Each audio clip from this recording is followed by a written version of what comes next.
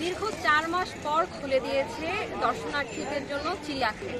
দর্শক, আমরা জানি দীর্ঘ চার মাস বন্ধ ছিল মিরপুর চিড়িয়াখানাটি সাথে ছিল রংপুরের চিড়িয়াখানাও। আজকে কিন্তু মিরপুর চিড়িয়াখানার সাথে সাথে খুলে দেওয়া হয়েছে রংপুরের চিড়িয়াখানাটিও এদিকে এগারো তার এগারোই আগস্ট হচ্ছে বিধিনিষেধের বেড়াজাল থেকে মুক্ত হয়েছে দেশ। খুলে দেওয়া হয়েছিল গণপরিবহন থেকে শুরু করে সবকিছু। দর্শক, উনিশ তারিখে খুলে দেওয়া হয় দর্শনার্থীদের জন্য বিনোদন কেন্দ্রগুলো। আর আজকে খুলে দেওয়া হলো চিড়িয়াখানা। আজকে আমি সার্বিক পরিস্থিতি জানানোর জন্য সারাদিন আপনাদের সাথে থাকব।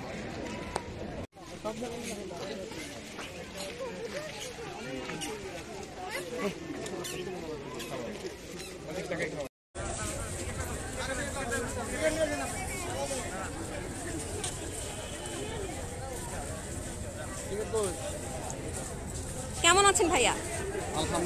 নাম কি আপনার? চার সাড়ে চার মাস পরে তো চিড়িয়াখানা খুলে দিয়েছে তাই না? এখন আপনারা এটার জন্য কি স্বাস্থ্যবিধি মেনটেন করছেন? একটু বলবেন আমাদের? এখানে স্বাস্থ্যবিধি আমাদের যা যা দরকার সব কিছু আছে আমাদের মেশিন আছে তারপরে ফুড জন্য খাওয়ার জন্য যেটা সেটা পটাশ দিয়ে ওটাও আছে সব কিছু আছে যাচ্ছে তাদের জন্য মাইকিং করছে স্বাস্থ্যবিধি মানার জন্য চার্জ আমরা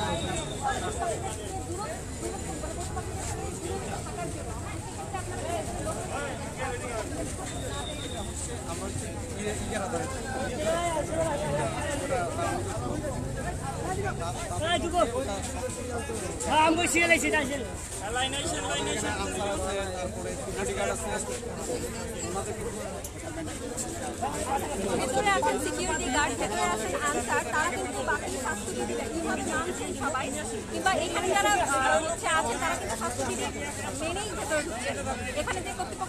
তারা স্বাস্থ্যবিধি মেনে হ্যান্ড স্যানিটাইজ করে তাপমাত্রা মেনে ভেতরে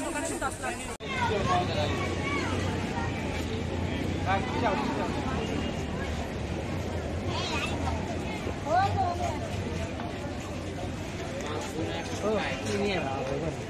দর্শনার্থী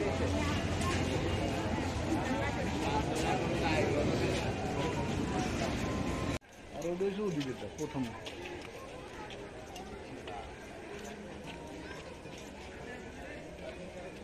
এদিকটা কোন দিকে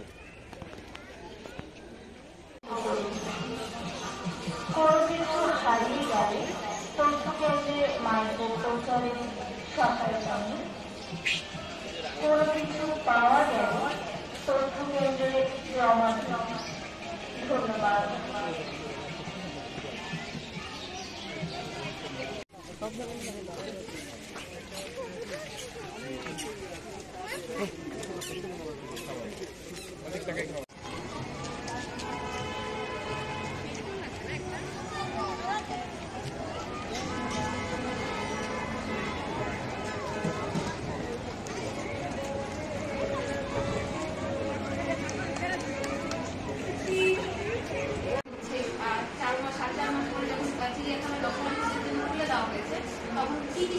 মানা মানে ধন্যবাদ। সাড়ে চার বছর আমাদের কোভিড নাইন্টিনের কারণে আমরা যে চিড়িয়াখানা বন্ধ রাখলাম, এবং তারপরে আমরা আজকে প্রথম খুললাম। এখানে প্রথম আমাদের গেটে ফুটবাল দিচ্ছে, ঢোকার মতো ফুটবাল আছে যেখানে পা ভিজিয়ে ঘাট হচ্ছে।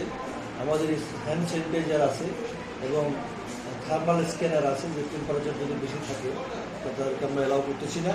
এবং তারা mask no mask no entry এরকম আমাদের ব্যানার দেওয়া আছে এবং আমরা মাইকে সার্বক্ষণিক প্রচার করছি যে মাস্ক ছাড়া কেউ ভিতরে ঢুকতে পারবে না। এবং তারা ভিতরে একমুখী পথ অবলম্বন করবে যেন সারিবদ্ধভাবে যেন একজনের সাথে আরেকজনের যেন মিক্সিং না হয়ে যায়, এটা। আর ভিতরে আমরা প্রায় বারোটা জায়গায় আমরা বিভিন্ন জায়গায় সাবান রেখেছি, হাত ধোয়ার সাবান। সেখানে হাত ধোবে তারা এবং শুধু করে উজুখানা আছে, সেখানে তারা ঘুরে ঘুরে উজু করতে পারবে। এই আমাদের ভিতরের স্বাস্থ্যবিধি আর আমরা মাইকিং, মাইকের মাধ্যমে প্রতিনিয়ত আমরা এই স্বাস্থ্যবিধি পালন করার জন্য এবং তারা একমুখী চলে যে যত্ন না করে এগুলো আমরা প্রচার করতেছি। এভাবেই যেন স্বাস্থ্যবিধিটাকে মানার জন্য তাদেরকে সচেতন করে তুলেছি আচ্ছা আরেকটা প্রশ্ন ছিল এমন যে এই যে দর্শনার্থীদের যে উপচে পড়া ভিড় হ্যাঁ সেক্ষেত্রে কি আমরা এরকম কোনো নির্দেশনা রেখেছি যে আজকে কতজন ঢুকতে পারবে প্রতিদিন? আপনার ঠিকই বলছেন এটা উম, আমাদের যেহেতু এটা একটা সরকারি প্রতিষ্ঠানের আপনি জানেন একটা ইজারা দেওয়া ইয়ে, এক বছরের জন্য ইজারা দেওয়া। এখন কোনো নতুন করে কোনো শর্ত দেওয়ার সুযোগ নেই। যেহেতু তারা ওই টাকা, ওই শর্ত অনুসারেই কিন্তু তারা ইয়ারলি টাকা জমা দিয়েছে। যারা ইজারা পেয়েছে তার টাকা জমা দিয়ে সুতরাং আমাদের ওইভাবে তাদেরকে আমাদের এত জন এটা দেওয়ার সুযোগ নেই। তবে আমরা, আমাদের যেহেতু এত বড় এরিয়া আমাদের চিড়িয়াখানা বিশাল একশো ছিয়াশি একর জায়গা। সুতরাং এত বেশি লোক হবে না যে তারা একজনকে, একজনের সাথে আর একজনের দ্বারা আক্রান্ত হবে। আর সবচেয়ে বড় কথা হচ্ছে, যারা অসুস্থ, তাদের তো ঢুকতে দিচ্ছি মানে আমরা চেক করে